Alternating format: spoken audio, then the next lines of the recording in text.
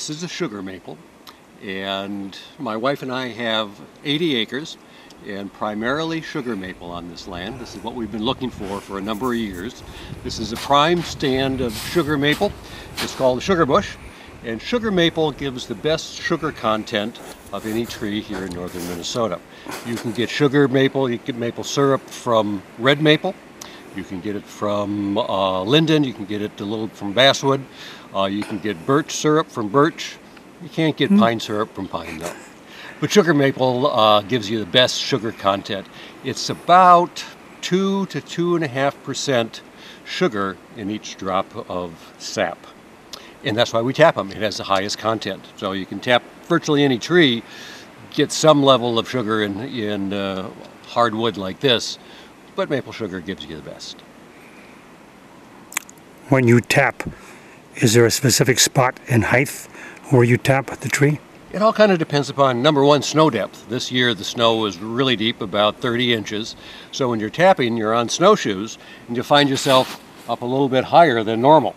You try to do it right around, oh, right around chest height someplace, simply uh, something that's comfortable. Uh, you can tap down low, you can tap down high.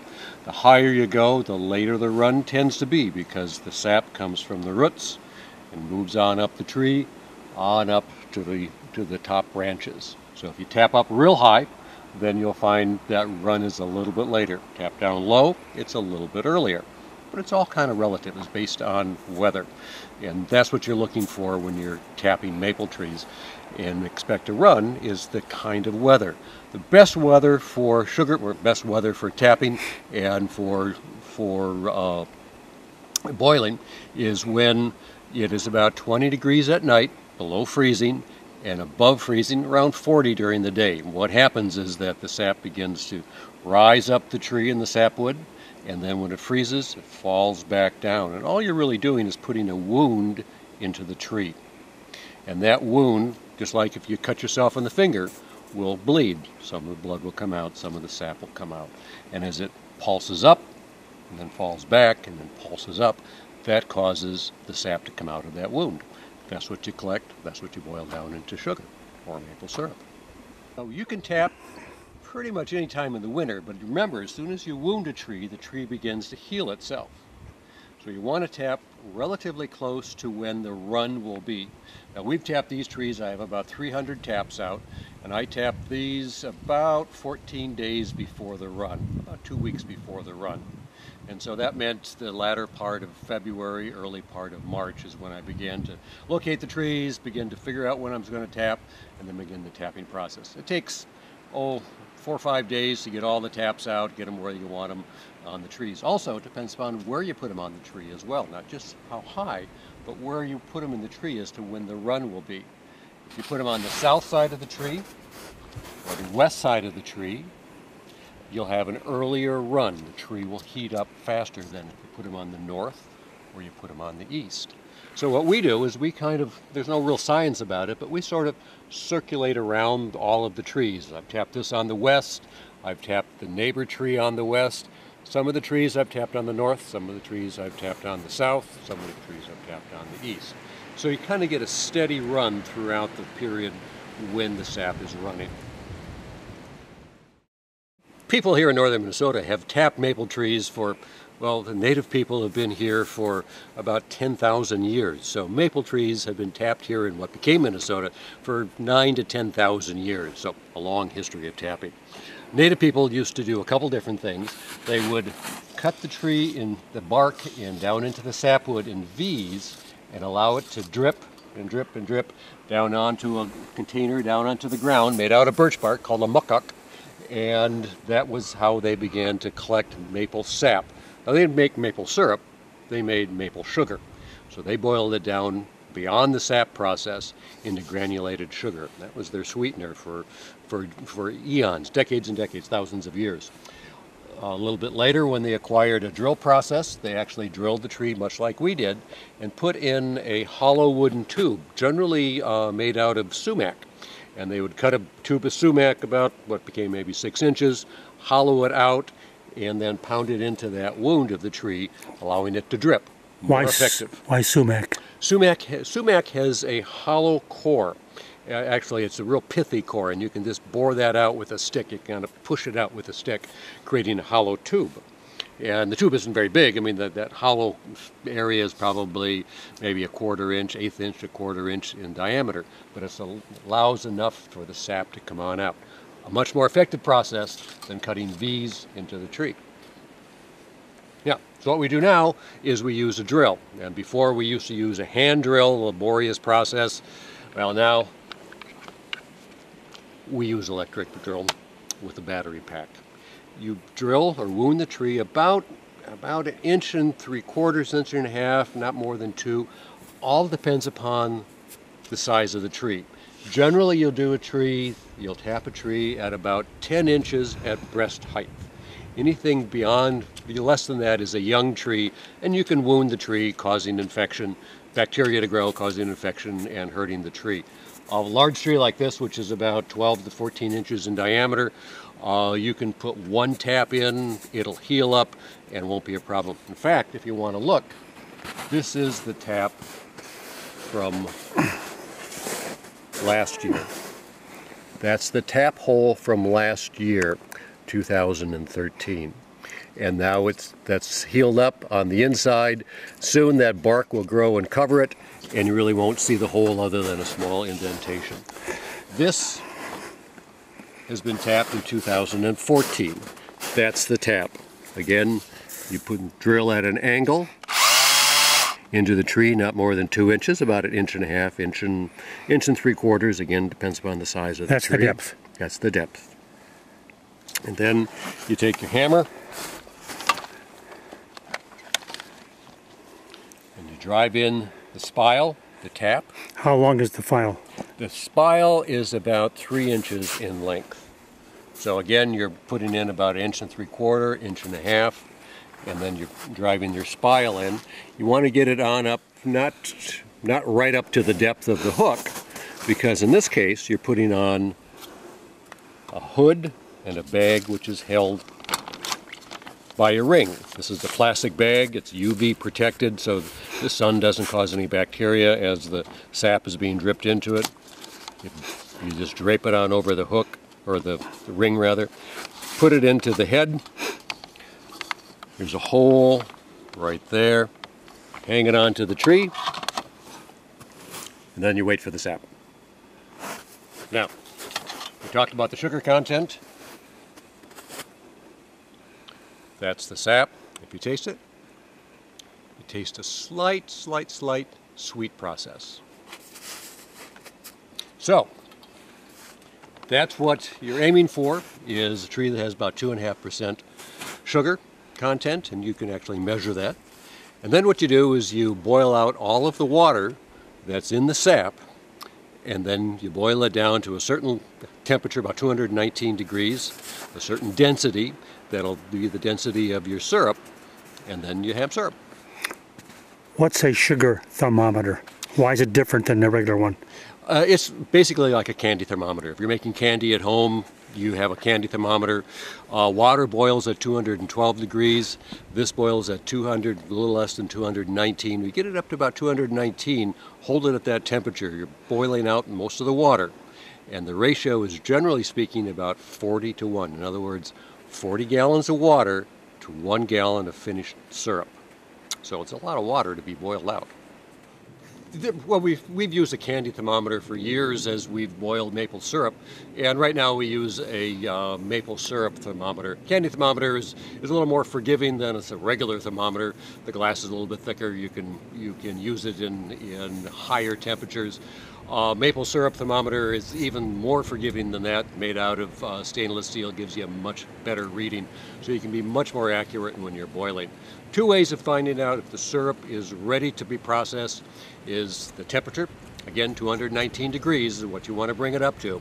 And then also the density, if it, if it is dense enough to be the same viscosity as maple syrup.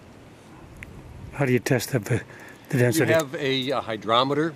We use a hydrometer that is calibrated to be able to float the uh, maple syrup. I'll show you to show it to you in a few minutes.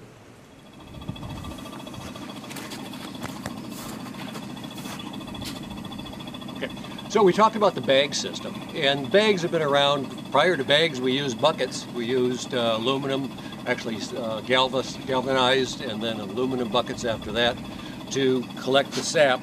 Bags were the next thing. Then what followed was a tubing, or is a tubing system that allows you to tap a tree, plug it into a tube. It basically becomes plumbing, and then run that tubing all the way out of the woods into a sap collector like this. Here's the process.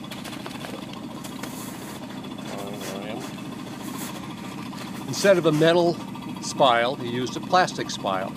That plastic spile is drilled into the tree. You get a 5 16 inch plastic hose that comes out of that, goes into a uh, what's called a lateral line. That lateral line flows into a three quarter inch main line like we have right up here. That three quarter inch main line goes to the sap collector. So it's really plumbing trees. And there's two systems you, that you can use. One is a uh, gravity system where you tap trees up on top of a hill and allow these lines simply to run downhill to your collector. That works efficiently. And also what you can use is the second one, which is a vacuum system, which is what I'm using this year. Used a gravity system in 2013, using a pump vacuum system in 2014. And what that does is it creates a negative pressure in your lines. And it doesn't suck the sap out of the trees, as one might think, but rather it just creates a vacuum and allows the sap to flow down more efficiently, down in this case downhill, to my sap collector. And so it becomes more efficient, more effective for collecting sap. You can collect more sap faster. And that's what it's all about because you're working against the weather.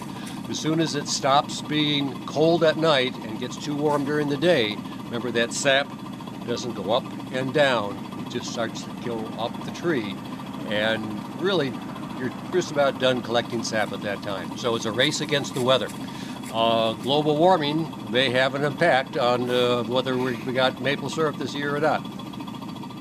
Again, as we said, we've got a series of lines through the woods. In this case, I have two main lines, and I probably have, oh, maybe 2,000 to 2,500 feet of lines through the woods. Now, that's not a lot.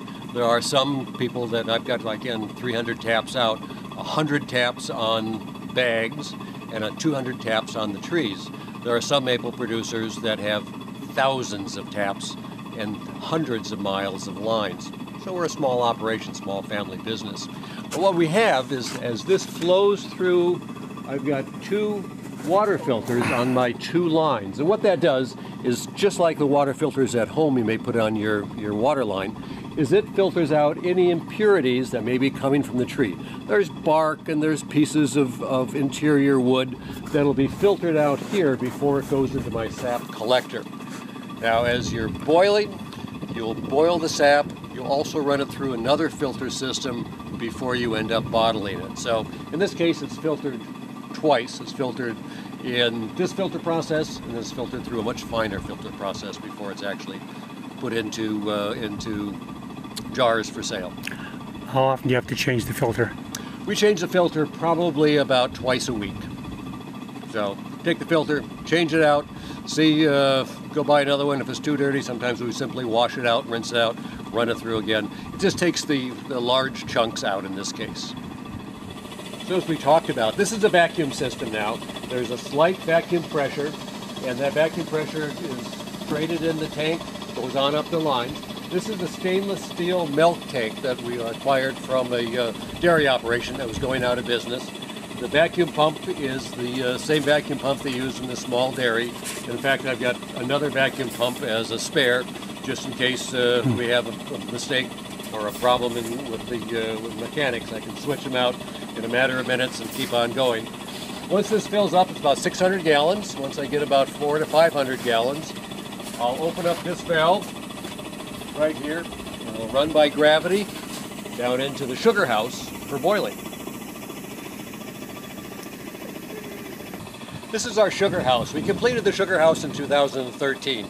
It's about it's 16 feet wide, 24 feet long, with a 14 foot wood room or wood shed on the front of it. We burn, we burn a lot of wood when we uh, start cooking maple syrup. In fact, we'll go through about three cords of wood, so you have to have a lot of wood. So we built this in 2013. It's a board and batten, and what it is was we create. I created the design, designed it out, and decided to what size we needed based on the all the taps that I had out, the size of the uh, the boiler. The second roof you see on top is actually called a cupola, and the sides of the cupola fold out, creating like in essence like a chimney for all of the steam created by the boiling process. Remember, we have to boil out 40 gallons of water to get one gallon of syrup. There's a lot of steam in that. So boil out a lot of steam, create the uh, maple syrup, and it's been it's been a great building to have. It's been a lot of fun to build, a lot of fun to work in. Let's go on inside.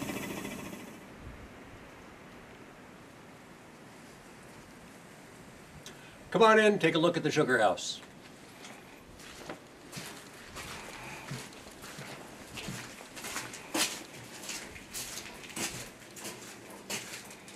And as we talked about, we finished this in 2013, boiled last year, and this year, 2014, will boil again.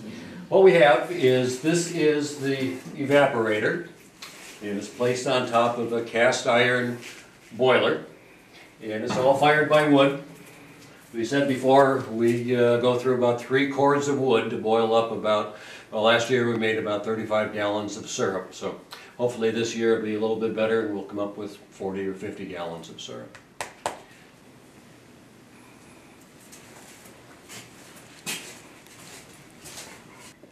Because we talked about outside, this line right here is where the sap comes in from the collector, comes through, open the valve, comes through on here, and this is the collector box. What this does is there's a float, if you can see right in here, this float moves up and down, and as it go, as the sap goes down, it opens this valve right here, allowing more sap to come in from the collector into the collector box.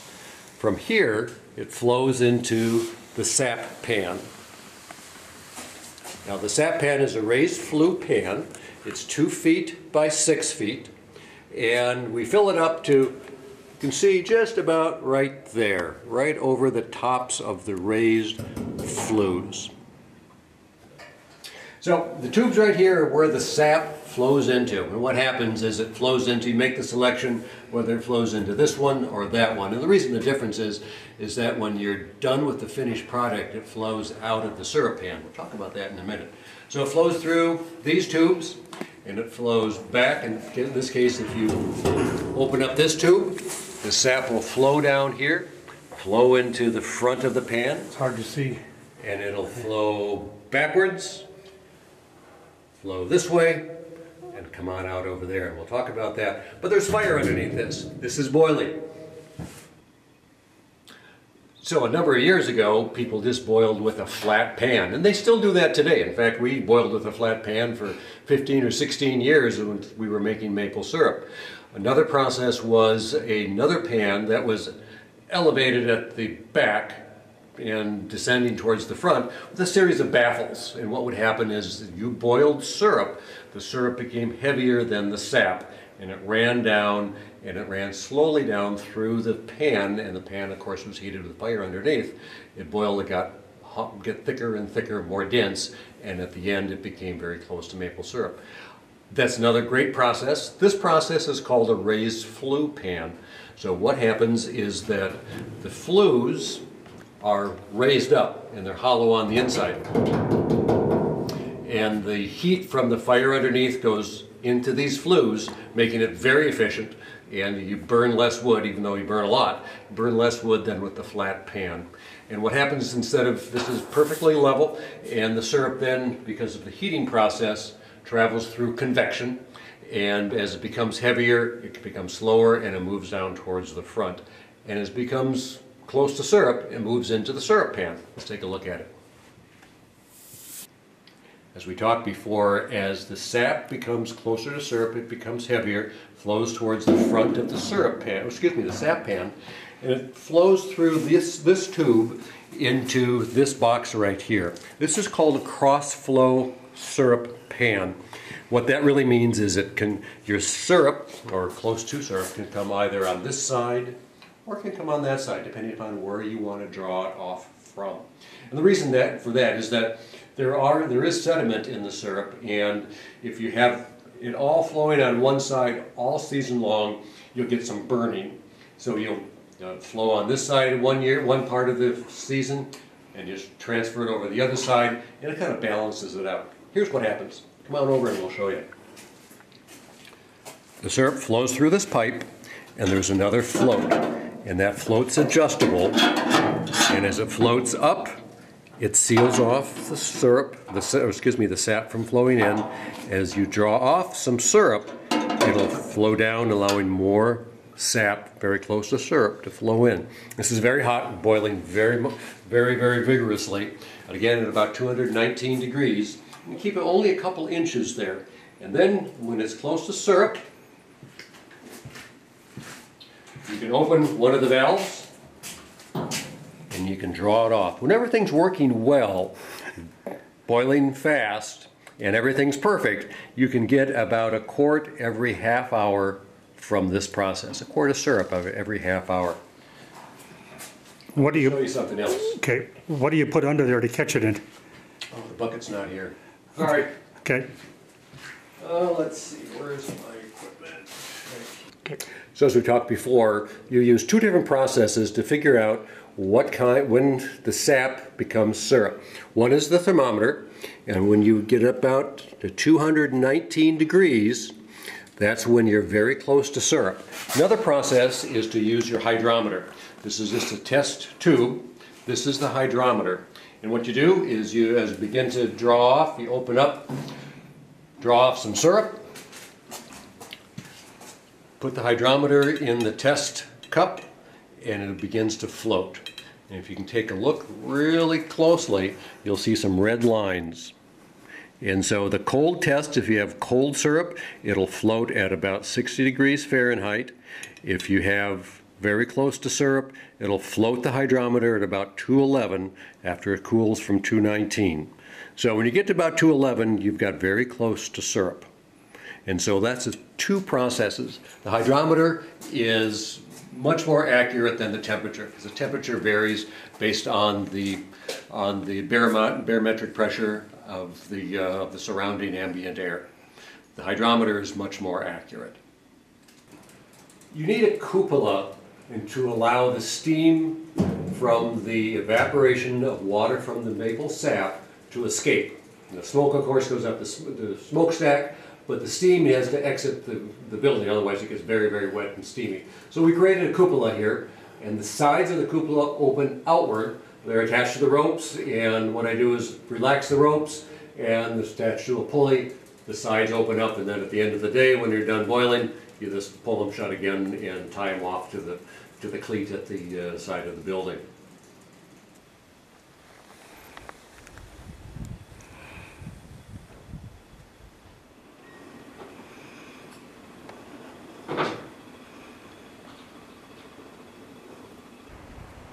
You got a machine to split the wood? The machine to split the wood is right here on the end of my arms. So we go through about three cords of wood every year, which means this is the wood I set up. We'll get burn all of this this year. And if you turn around and take a look over there, that's all the wood that I'll split up this spring and I'll set it up onto turn again and you'll see the pile of wood I've got going that will be all for next year. I'll set it all up over here by the sugar house and it'll all be burned up next year. And I've got another couple of piles ready to go for 2016. Now, am I looking at the full supply of wood right here in front of the cabin that you need for this year? That's close to the, what you're looking at is close to the amount of wood that I'll burn to create about 40 to 50 gallons of syrup this year. I'll pull from my other supply as it gets to be diminished and lower. So we go through a lot of wood.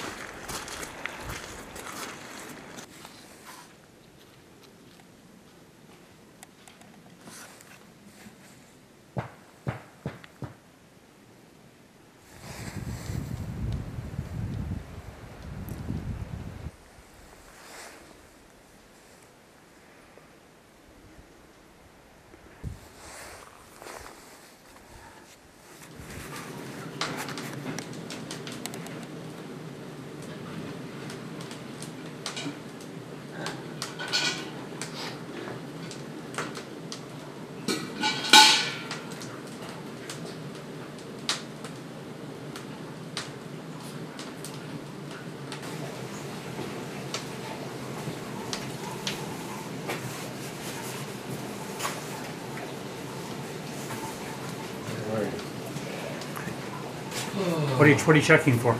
Uh, I'm just checking on, see that on the boil. Yeah, yeah, yeah. Do you have s- syrup in the pan now? Yeah, come here, I'll show you. what- Okay, hang on. Do you have syrup now flowing into the system? We have sap flowing into this, yep, yep. Okay. And what are you checking? How long has the fire been going? Let's see, I started the fire about nine, nine o'clock, I believe. So it's just about noon right now, so it's been going for about three hours. And what's next? Sap is going into the Yep. tray? Let me explain what we, where we are. Remember, we had our sap collector outside, and that is six hundred gallons of, uh, when it's full, six hundred gallons of sap. It flows by gravity through this line and right on into our collector box. And the collector box has a valve in it, and that valve is adjustable, and we keep sap in here, because the sap flows from the, from the tube into the collector box, and there's a valve that allows the sap to open and shut off, and open and shut off, to maintain a proper level in the sap pan, which is what this big sap pan, what it is, is a big sap pan. We have it about two inches above the raised flue, and I can adjust my float accordingly if I want any deeper or any shallower, but about two inches is just about enough. So what happens is this, as you can see, evaporates out. And as it evaporates out, the semi-syrup or the pre-syrup becomes heavier, and it flows from the sap pan, which is hot and bubbly and boiling, right on into the syrup pan, which is the next pan right below the sap pan.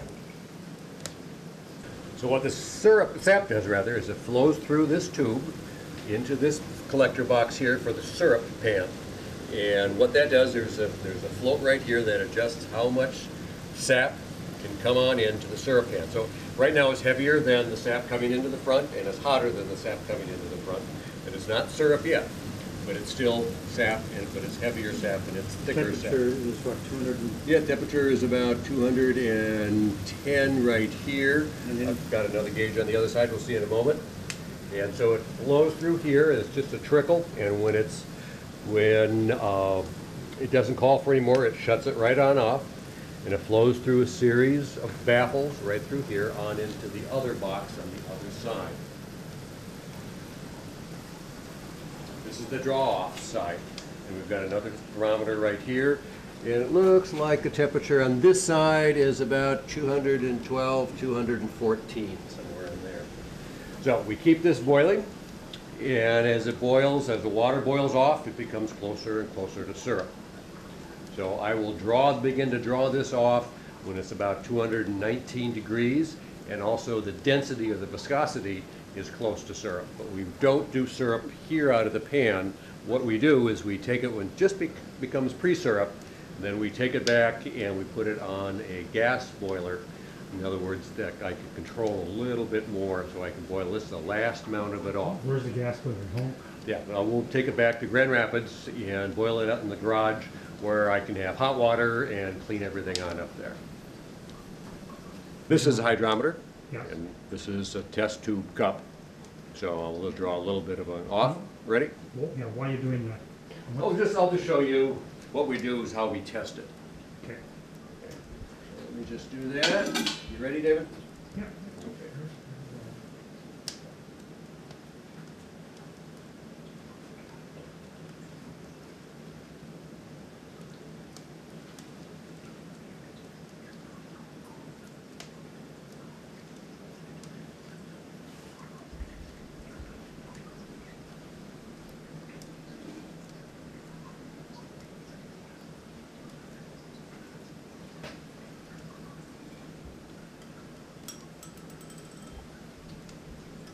Okay, so we drew a little bit of it off into the test cup, and the hydrometer, if it becomes syrup, the hydrometer will float just about this high. But since it doesn't have the viscosity of syrup, it goes right down to the bottom. So that's how we test. We test by the temperature, 219 degrees, but also the better test is the viscosity of the syrup. So when it gets to be floating like that, then we'll begin to do a draw off. Draw Not off. there, draw Mhm. off from the syrup Into, pan. into what? We'll do, we'll draw this off into this bucket right here. a stainless steel bucket.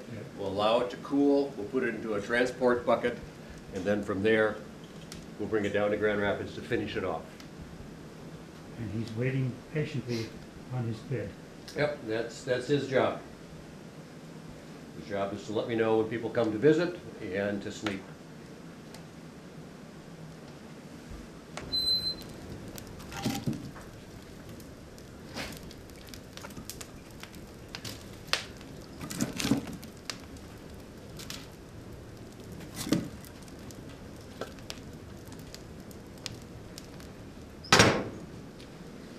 As you can see, we fire with wood, and that's kind of the traditional way of making syrup.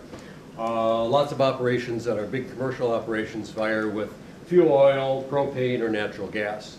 And so what we do when we start to draw off the syrup, when it becomes close to syrup, we can't really turn off the fire. If you had a natural gas fire, you just turn off the valve and things begin to cool down immediately. You can't do that with wood. So what we have to do is we have to chase the sweet, which means that we add a maximum amount of sap to the front of the sap pan, and that is lighter and begins to push down on the syrup. So it pushes the rest of the syrup out, we shut down our valve, and then we flood this with new sap so we don't overcook or scorch our pans. So that's really the bane of firing with wood, is you want to make sure you don't scorch your pans. If you do, you got to shut down the whole operation, scrub the pans clean of all the burned material. This is sugar, of course, and it burns pretty quickly. And then start all over, so they can put you out of business for several days. That we don't want to do. So you got to be very careful when you draw off and then begin to chase the sweet with new sap. So we're not there yet, but we'll get there in a matter of a few hours.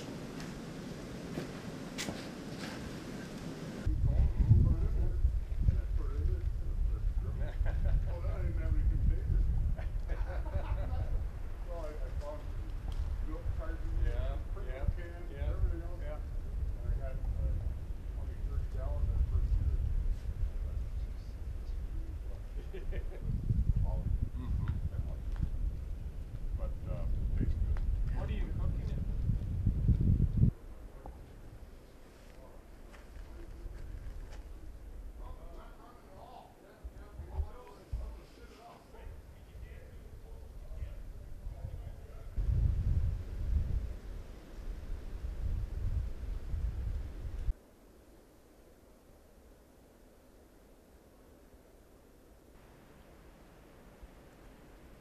Yeah, no, so we're just waiting right now, waiting right now to get the, uh, the sap up to both temperature and viscosity.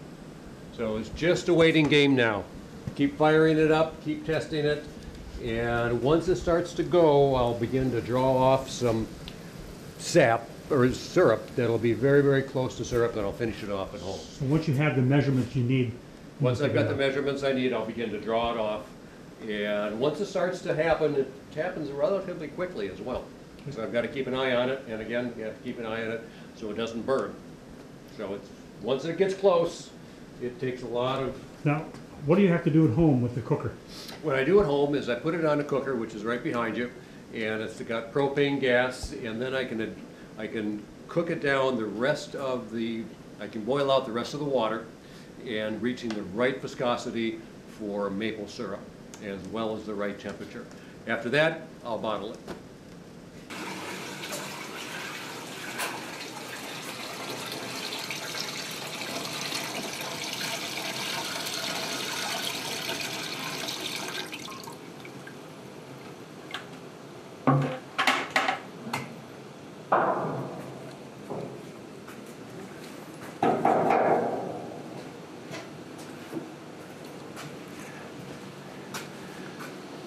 That to keep the ribs covered? Otherwise, the tops will burn, and then you don't want, it affects the taste of the syrup, and that's bad enough, but the cleanup process is laborious, to say the least. So we're in a critical phase here. My tank is now empty. I've taken out about 300 gallons I've run through so far. I have to keep the level up, but also keep the fire going Okay. as it turns into syrup. So manual adding and then uh, making, I can't add too much because it'll cool down the whole fire. and you got to bring it back, bring up Ooh, oil how, back. how do you know how much to add then? Guess. Trial and error. There?